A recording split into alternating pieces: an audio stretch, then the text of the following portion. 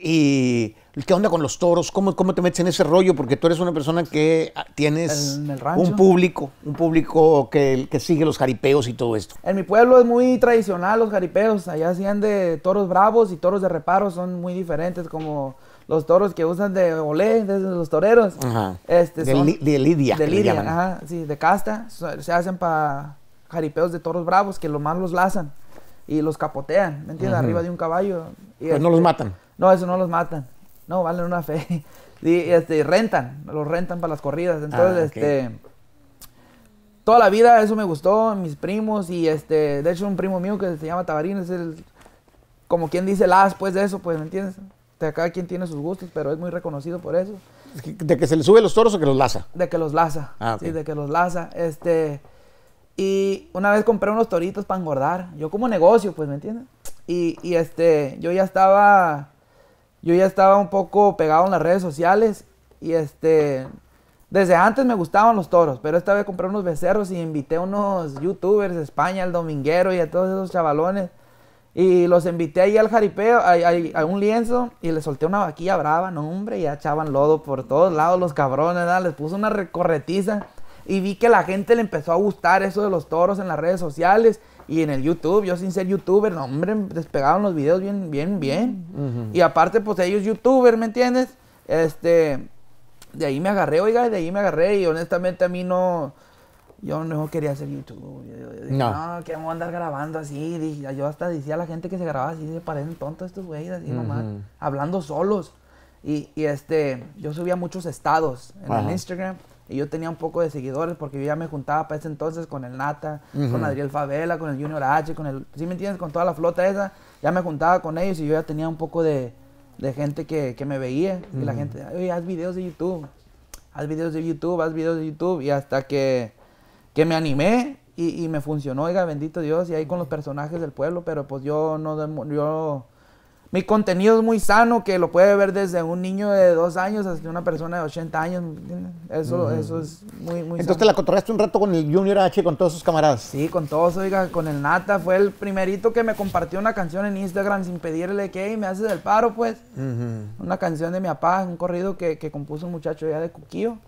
Este, la subí y, y, y sube a un estado en el carro escuchándola. Había comprado un Hellcat nuevecito, Y- viejo, y, y- no, hombre, compa, y esa madre me, me alivianó. de- de- yo estoy en deuda con el, ese morro, pues, ¿me entiendes? Yo sé, el Nata, aunque, aunque no, no, a lo mejor él tiene otra imagen entre las redes sociales. e- Es, la única persona que yo he conocido así a fondo. No conoce la envidia ese vato.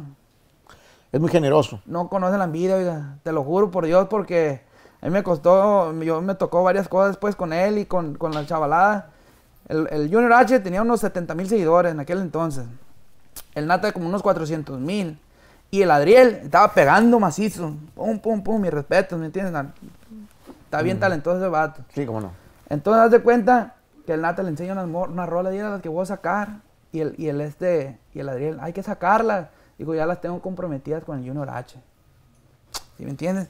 Entonces, tú como... como O sea, que era un vato que apenas estaba arrancando, pero el vato respetó. O sea, a pesar de que... Es lealtad y tener palabra, ante Así es. todo, ¿me entiendes? Así Porque es. el Junior H en, este, en ese entonces no era Junior H, pues. Adriel Favela, no, hombre, estaba pegando Miami. ¿Sí me entiendes? O sea, Y el vato dijo, no, yo me comprometí y voy a Ya respetar. las tengo comprometidas, viejo. Son pa' fulano de tal, las voy a hacer con él. Y, y son cosas, muchas cosas que él ha hecho que yo digo, no, pero el vato, con el obvio, oiga, sin la neta, el, el- el nata, pues, ¿me entiendes? Con la de Pacas Verdes. Y, y yo estoy de testigo que, que el obvio fue el que empujó ahí para... El nata no quería hacer eso de trap y eso. Y es cuando, cuando, cuando empezaron, el obvio fue el que, "Ey, hay que meternos en estudio, hacer esto y esto, ¿me entiendes? Pero ese, ese, ese muchacho, honestamente, no, no tiene, no es envidioso para nada. Qué buena onda, ¿no? Pues lo Y saludamos. a mí me apoyó, a mí me apoyó, la neta, y este, a muchos yo creo que trae una colita atrás de él de mucho talento que... ¿Cómo que- no? que ha- ¿Cómo no? Y además in- inspiró mucha raza. Ahora que me tocó presentarlo en los premios, yo sí lo presenté. Un vato que creó un movimiento y muchos morros tocan la guitarra. yo creo mucho en el gracias destino. a él. En el destino, pero también gracias a, a- a personas este, estamos donde estamos. Y yo, yo Claro. estoy donde estoy, bendito Dios, por amistades y no por dinero, porque yo no tengo pues que un padrino o empresa fulana de tal que me, que me ayudó. no, Yo siempre de mi bolsita hasta caer en cero, compa. Yo caí de no tener para comer. Y hace poco, en marzo, Hace poco, en marzo, y mi compa Alex, delegado 7, está testigo. Era mi paño de lágrimas el viejo. Yo le marcaba casi llorando, compa, de que, ¿qué, qué hago?